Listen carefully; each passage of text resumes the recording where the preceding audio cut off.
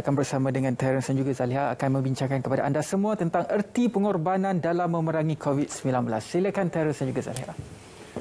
Terima kasih Ridwan. Kita bersama dengan uh, Ustaz Hafiz Hanifah, Presiden Majlis Belia Tafiz Malaysia yang telah pun bersedia untuk membincangkan uh, berkaitan dengan uh, kurban itu sendiri dan bagaimana kita yang menyambut perayaan Aidil Adha ini terpaksa menyambutnya sekali lagi dalam keadaan yang sangat berbeza.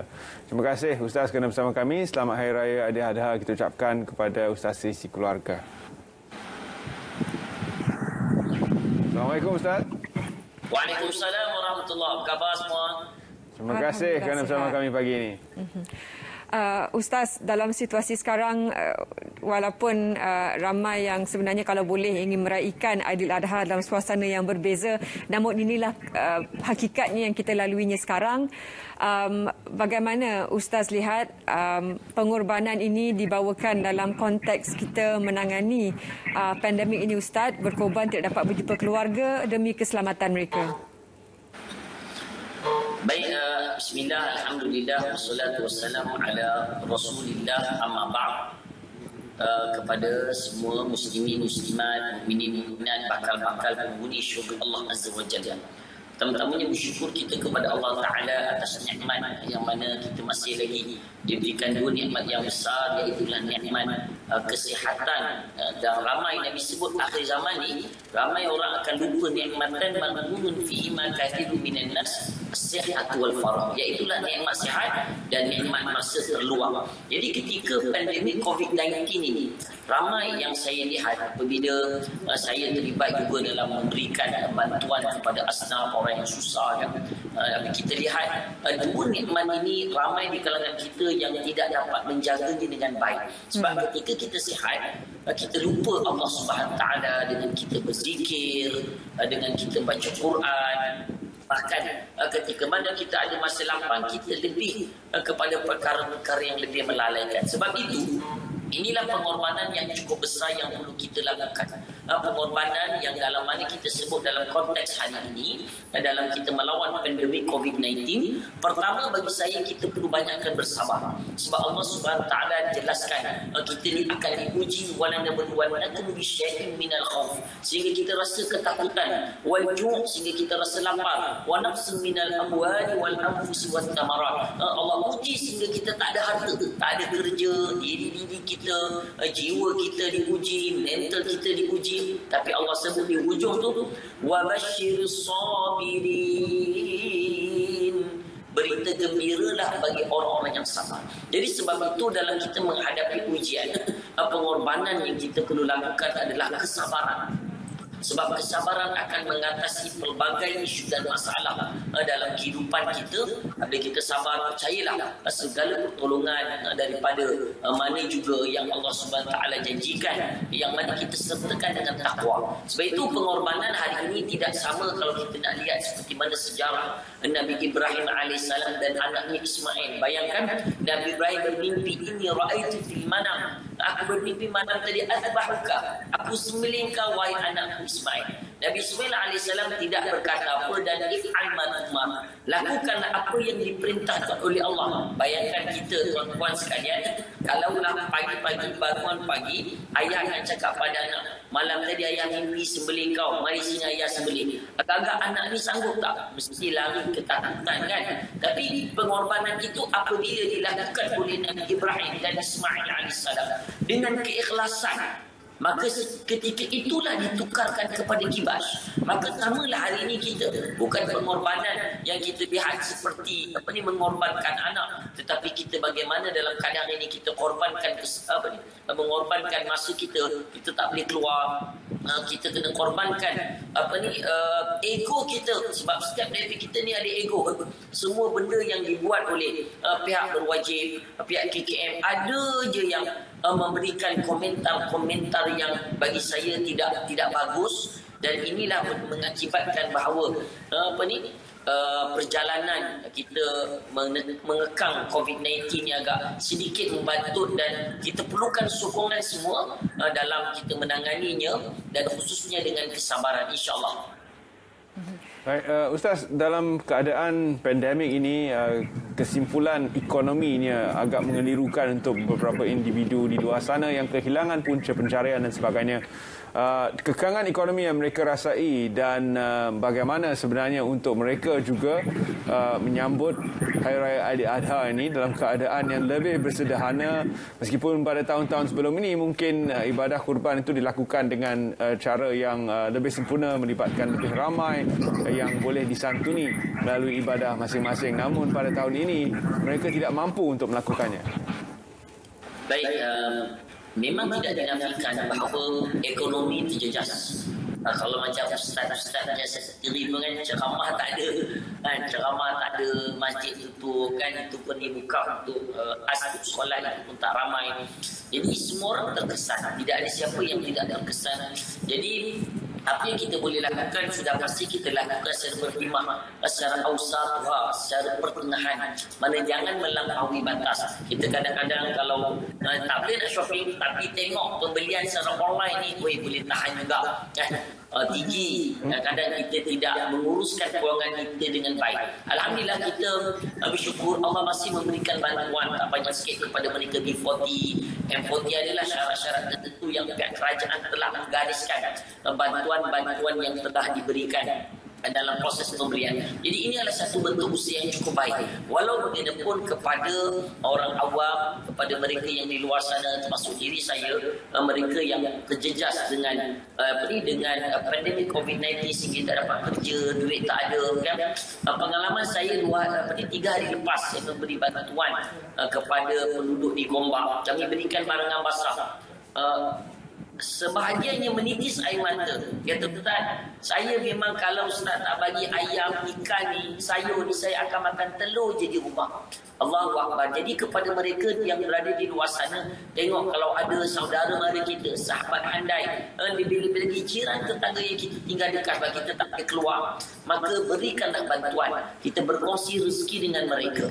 Begitu juga lah pelaksanaan korban yang dibenarkan di, di, di negara kita dengan SOP yang ketat, maka daging-daging korban itu boleh diagihkan kepada mereka yang memerlukan yang sekejap lagi pun saya akan ke sebuah rumah yang mana seorang uh, anak ni positif dan uh, dia kata ustaz boleh tak bagi makanan basah ustaz? Sebab saya uh, tak makan uh, tak dapat makan makan. Lah jadi usaha tu perlu kita lakukan. Dan kepada mereka yang di luar sana dalam keadaan susah dan mencabar ini uh, perlu banyakkan berzikir. Ada satu zikir sebenarnya. Zikir ni powerful dalam keadaan kita tengah down, dalam keadaan kita tengah tak ada ekonomi, dalam keadaan yang kita penyakit COVID-19 nak bangun, nak bangkitkan, maka banyakkanlah zikir hauqalah. Zikir apa? Hauqalah. Nabi SAW meriwayat, menyebut yang mana hadis ini diriwayatkan oleh 19 orang sahabat yang mana ketika mana seorang sahabat Nabi bertanya tentang amalan, maka Nabi sebutkan amalan yang guna ajarkan ini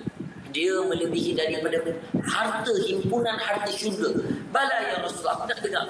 Maka Nabi ajarkan zikirnya hauqalah. Bukan hauqalah tu zikirnya itu namanya hauqalah. Ha, kalau hauqalah, hauqalah, hauqalah jadi Coca-Cola lain. Dia jadi zikir ikut saya. Tuan-tuan, ibu-ibu ajarkan anak-anak kita ni. Kan ibu-ibu di rumah kena kuat, ha, kena tabah. Ajarkan zikirnya apa? La haula wa la quwata illa billah. Sekali lagi, la haula wa la quwwata illa billah. Tidak ada upaya dan tak ada kekuatan kekuasaan melainkan kekuatan dan kekuasaan Allah. Kita baca ni time bila dan kita duduk seorang-seorang kat tika sejadah baca 500 kali, 1000 kali. Subhanallah tuan-tuan dengan niat tidak ada upaya dan kuasa melainkan Allah yang boleh memberikan makanan bantuan kepada aku dalam keadaan terdesak. Tuan-tuan percayalah, yakinlah. InsyaAllah ada bantuan akan sampai. Uh, ya Allah, kita minta tidak ada upaya. Niatkan. Tidak ada upaya dan kuasa yang boleh menyembuhkan penyakit COVID-19 aku ini. Melainkan Allah Ta'ala. Maka tunggulah insyaAllah. Uh, sebab amalan yang dilakukan ini telah dilakukan oleh ramai para sahabat, uh, ramai manusia, ramai alim ulama memberi kesan yang hebat sehingga Nabi sebut uh, bahawa ianya boleh mengubati uh, pelbagai penyakit dengan zikir apa? Hauqalah la haula wala quwwata illa billah. Wallahu a'lam. Uh, Ustaz, uh, kalau boleh kita juga nak tanyakan pandangan pribadi Ustaz. Uh, Ustaz sebut tadi uh, surau masjid juga tidak dibuka sepenuhnya dan kalau dibawakan kepada konteks pengorbanan ni Ustaz, uh, semalam juga dalam laman akhbar ada yang tular golongan yang tidak dapat masuk ke dalam masjid jadi berkumpul beramai-ramai di luar uh, menimbulkan satu lagi isu dari segi uh, mereka ingin melakukan ibadat tetapi atas sepatutnya atas uh, integriti keselamatan itu um, ialah mereka berada di kawasan luar secara beramai-ramai itu menimbulkan satu lagi kerisauan masyarakat. Um, bagaimana untuk kita gariskan um, ada beberapa perkara yang tidak boleh dilakukan untuk keselamatan masyarakat sejagat walaupun itulah sebenarnya yang kita lakukan bertahun-tahun setiap kali um, solat uh, jemaah diadakan um, untuk terutamanya perayaan sebesar ini ramai yang ingin menjadi sebahagian daripada uh, ialah keramaian tersebut tapi suasananya berbeza kali ini dan ramai yang juga perlu berkorban tidak tidak dapat hadir untuk um, ajak uh, yalah uh, uh, satu urusan ibadah seperti ini. Baik, terima kasih. Uh, soalan yang uh, begitu dekat ke hati kita sebab amat mengejutkan dalam berita apabila semalam ramai yang keluar di satu negeri uh, solat berjemaah di kawasan lapang. Memang dalam sunnah Rasulullah SAW, memang semayangnya di kawasan lapang. Itu zaman ketika bukan pandemi lah. Sebab zaman Nabi SAW juga berlakunya satu tahun namanya tahun 16. Uh, kita tahu dalam sejarah Al-Qasnya ada satu kampung di bumi Falastin di Syam. Uh, sehingga kan Rasulullah SAW tidak dapat ke sana sebab pandemik yang berlaku Nabi dah ajarkan dalam hadis Imam Bukhari. Nabi sebut hentikan diri kamu diamkan diri kamu. Maknanya tidak maknanya kamu melakukan self quarantine tidak keluar rumah memang itu yang Nabi sebut hentikan diri kamu. Maknanya quarantine maksud hari ini lah daripada kamu pergi ke tempat wabak Nabi sebutkan dan orang yang berada di tempat wabak itu tidak tidak keluar. Jadi garis panduan ini juga dilakukan secara praktikal oleh Sayyidina Umar Al-Khattab ketika mana menghantar sahabat Nabi Abu Ubaidah dan Jarrah Mu'az bin Jabal untuk menggantikan. Ketika itu Abu Abu Abu ni Ubaidah bin Jarrah Abu Ubaidah al-Jarrah ini Sayyidina Umar menghantarkan surah untuk dia datang ke Madinah. Balik-balik sebab dia adalah jeneral perang. Tapi kata Abu Baidah al-Jarrah, Abu Baidah al-Jarrah dijamin masuk surga. Dia tulis surat dia kata ini tanggungjawab aku, aku untuk mempertahankan ketika itu nak membebaskan kota Palestin. Jadi ini tanggungjawab aku dalam keadaan tengah tengah tahun. Tahun ini adalah penyakit-penyakit. Sebab Nabi dah sebut dalam hadis riwayat Imam Muslim ketika dalam perjalanan ke Tabuk. Nabi sebut ada enam perkara sebelum berlakunya kiamat. Yang ketiga Nabi sebut manusia akan mati dalam keadaan yang ramai dengan begitu saja. Para ulama menggambarkan inilah disebutkan dengan tahun iaitu penyakit yang menjangkit yang suka untuk dibendung. Maka para ulama mengkiaskan di zaman hari ini di apa yang berlaku COVID-19 ini adalah tanda-tanda akhir zaman salah satu tanda kecil. Jadi kita kena akur dan percaya. Dan Sayyidina Umar Al-Khattab ketika itu nak masuk nak menyelamatkan Abu Ubaidah dan Jarrah sahabat Nabi ini tetapi uh, mereka tidak membenarkan Sayyidina Umar untuk pergi ke kawasan wabak. Tahun ketika itu dan akhirnya Abu Baidah Jarrah uh, syahid uh, meninggal dunia. Maka Rasulullah orang yang meninggal dunia kena wabak. Maka matinya syahid subhanallah. Uh, amat-amat luar biasa dalam keadaan kita hari ini siapa tak rindu tuan-tuan? Saya pun rindu kepada masjid saya pun rindu kepada surau. Rindu nak solat jemaah Rasa lama kita tak dapat Jumaat. Tetapi kita kena faham satu perkara. Saya berharap kepada para asatizah di luar sana. Para ulama yang menggariskan Panduan yang cukup lebar dan banyak Bukan di Malaysia bahkan di seluruh dunia Di Mekah hari ini kita tengok mereka yang menunaikan haji. Dalam keadaan yang melakukan penjarakan kita kena akur hari ini. Dan dari bila-bila keputusan kita sebagai para sebagai para asatizah ustaz-ustaz kena bersama dengan keputusan yang telah diputuskan oleh para mufti. Hmm. mufti ni jangan kita pertikai mereka ni berada di barisan akhir dalam mengeluarkan satu pandangan.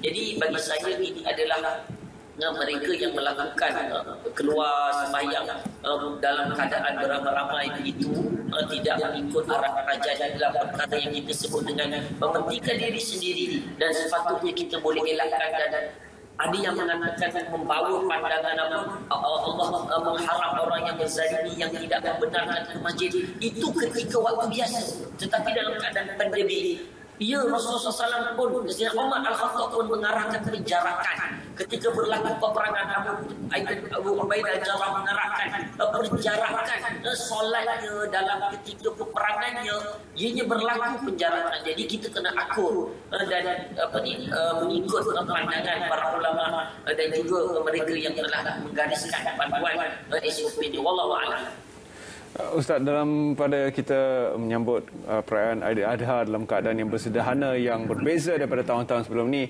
uh, bahagian-bahagian korban harganya dilihat uh, uh, ada yang agak tinggi juga uh, ataupun makin meninggi. Uh, walaupun kita berada dalam keadaan pandemik. Pendapat Ustaz tentang uh, harga bahagian-bahagian korban ini? Ya, uh, tidak dinafikan uh, sebab sekarang ni nak dapat uh, apa ni mereka yang nak menunaikan korban agak mencabar harga berbeza-beza.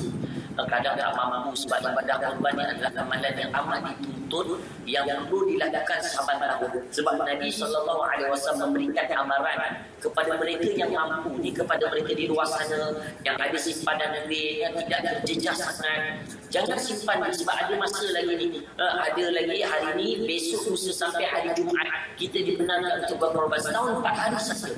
Maka kita keluarkanlah duit kita sebab Nabi memberi amaran mereka yang berkemampuan tetapi tidak memberikan tidak menyembelih korban ataupun membuat korban maka Nabi sebut janganlah kamu mendekati tempat-tempat solat kami. Maka jangan datang ke masjid. Nabi memberi amaran sampai tahap itu sebab kita kena kongsi rezeki kita jadi carilah mana ruang yang kita boleh. Memang tak nafikan harga berbeza-beza. Lagi di negara kita ada sedikit naik sebab memerlukan kos penyembelihan tidak boleh diadakan di kebanyakan hendaklah dihantar ke pusat penyembelihan bertawiyah saja Ha, jadi ini memerlukan tambahan kos. Jadi kita kena akur ha, dan kalau kita tak mampu tak ada masalah kalau kita nak buat korban di luar negara kan, buat sikit. Kita gila-gila kan lah. Mungkin dalam ada sikit sebab orang yang kat dalam negara pun perlu dibantu. Yang berada di luar negara pun ramai. Macam di Syria. Di Syria Allah Akbar mereka hanya makan setahun sekali je. Uh, apa ni daging sama ada lembu ke kambing ke bila ketika uh, hari raya Aidil Adha. Ketika itulah orang akan buat banyaknya orang Malaysia lah. Dia menipis air mata bila disebut Ada dia tanya bila last makan, makan daging. Saya makan daging bersama beberapa setahun yang lepas Ketika orang bagi uh, ibadah apa daging korban. Syukur mereka. Tapi di negara kita Alhamdulillah Dalam keadaan hari ini tak adalah sampai keburuan uh, Ramai di kita yang masih lagi makan daging Saya percaya. dan berbeza di negara-negara luar. Uh, dan kita bantulah pada kemampuan kita perbezaan harga itu logik uh, dan uh, kita perlu akur. Dan kalau tak mampu di dalam negara kita boleh buat di luar negara dengan harga yang lebih murah. Allah uh, Ustaz uh, dalam uh, kalau boleh kita minta juga kesimpulan rangkuman untuk perbincangan ini Ustaz. Uh, baru-baru ini juga uh, sebelum Hari Raya Aidiladha dilaporkan banyak kenderaan yang beratur di Plaza Tol yang cuba-cuba untuk kembali ke kampung. Kita faham keresahan untuk berjumpa ibu bapa dan keluarga sebab dah dua tahun uh, ber beraya sebegini. Um, tetapi um, sehingga ia uh, memberikan satu lagi kemarahan uh, segolongan lagi rakyat kerana um, dalam situasi sekarang masih lagi ada sikap pentingkan diri sendiri sehingga kerajaan terpaksa surat-surat biasa untuk urusan harian pun tidak boleh digunakan lagi. Sehingga begitu kawalannya untuk memastikan kita mematuhi SOP. Komen Ustaz bagaimana pengorbanan uh, sekarang ini supaya dapat uh, kita nikmati adil akhirat pada tahun hadapan insya-Allah.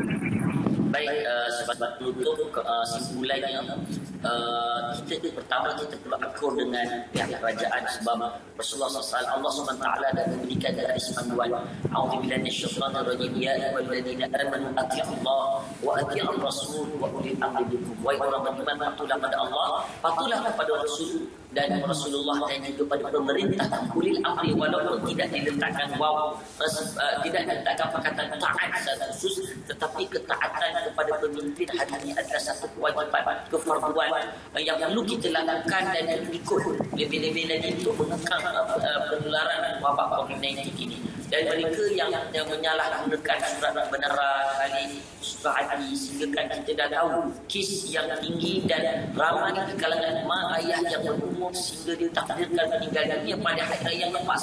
Jadi harapan kita semua saya percaya dan kita saya sendiri bahawa kita hendaklah bertanggungjawab bersama dalam menangani isu ini dan paling penting kepada masyarakat di luar sana bersabarlah. Sebab Allah Taala dah ingatkan fa inna ma'al usri yusra setiap kepayahan ada kesenangan. Allah uji kita sedikit. Kalau nak bandingkan Nabi Nuh AS zaman Nabi dia, dakwahnya 950 tahun sehingga kan anak dan isterinya tidak beriman naik irkam makna naik dengan ayah eh, tak nak anak dia tak apa ayah saya akan duduk dekat gunung ni akan selamat bah banjir ketika itu guys bah banjir ketika itu digambarkan oleh Syed Kutub melebihi 4 kilometer tsunami Aceh 2003 tak dalam 12 12 ke 15 meter. Tapi apa ni uh, bah banjir zaman Nabi Nuh AS menjangkau 4000 meter. Kita tidak diberi ujian macam itu kita tidak diberi ujian kemarau yang panjang berterusan bertahun-tahun tak ada turun hujan tidak tapi Allah uji kita sedikit saja melihat melihat apa kesabaran kita kekuatan kita. Jangan berhenti berdoa. Saya percaya tuan-tuan teruskan berdoa. Tak lama lagi apabila ramai bersedia mengambil vaksin teruskan ramai. Itu yang perlu kita lakukan. Ada ramai yang telah mengambil dan kita dah dapat mengekamnya insyaAllah. Tak lama lagi insyaAllah saya percaya tahun depan kita dapat beraya bersama ahli keluarga insyaAllah. Wallahu'alam InsyaAllah terima kasih Ustaz kerana sudi bersama kami dalam Saat Pagi Malaysia uh, dan uh, kami harapkan Ustaz dan sisi keluarga sihat-sihat jasa. Terima kasih sekali lagi kami memberi uh, gambaran menyeluruh berkaitan dengan sambutan Aidil Adha yang berbeza pada tahun ini. Terima kasih Ustaz. Sama. Assalamualaikum.